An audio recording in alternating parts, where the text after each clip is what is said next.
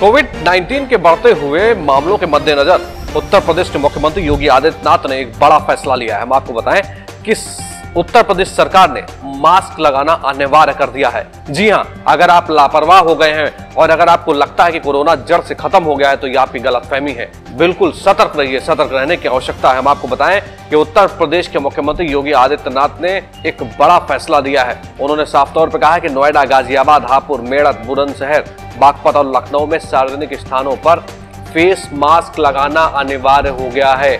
अगर आप लखनऊ जा रहे हो तो साफ़ तौर पर मास्क ज़रूर लगाएँ। और मैं कहता हूँ कि लखनऊ ही क्या, आप अपनी सुरक्षा के लिए मास्क ज़रूर लगाएँ, क्योंकि कोविड 19 के जो जिस तरह से मामले पड़ रहे हैं, वो कहीं ना कहीं सरकार को भी परेशान कर रहे हैं, जिसको देखते हुए उत्तर प्रदेश के मुख्यमंत्री योगी आदित्यनाथ ने ये बड़ा फैसला लिया है कि सार्वजनिक स्थानों पर बिना मास्क के आप नहीं खड़े हो पाएँगे। हम आपको बताएँ कि कोविड 19 के मामले जिस तरह से तेज़ी के साथ में बढ़ रहे हैं, उसको देखते हुए, उसके मद्देनजर योगी सरकार का यह आदेश हुआ है कि नोएडा, गाजियाबाद, हापुड़, मेरठ, बुलंदशहर, बागपत और लखनऊ में सार्वजनिक स्थानों पर फेस मास्क लगाना अनिवार्य हो गया है।